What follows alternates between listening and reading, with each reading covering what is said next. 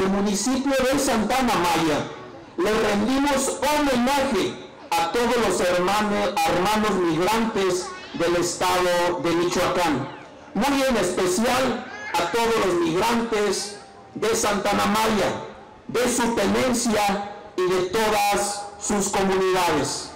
La primera feria del migrante sin precedente en nuestro municipio es para ustedes.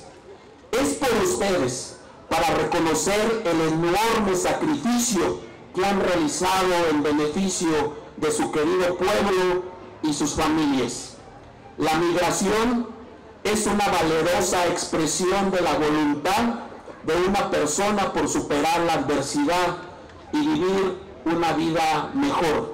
Y ustedes, hermanos migrantes, le han dado una vida mejor a Santana Maya. Sin ustedes, nuestra hermosa tierra no sería lo mismo.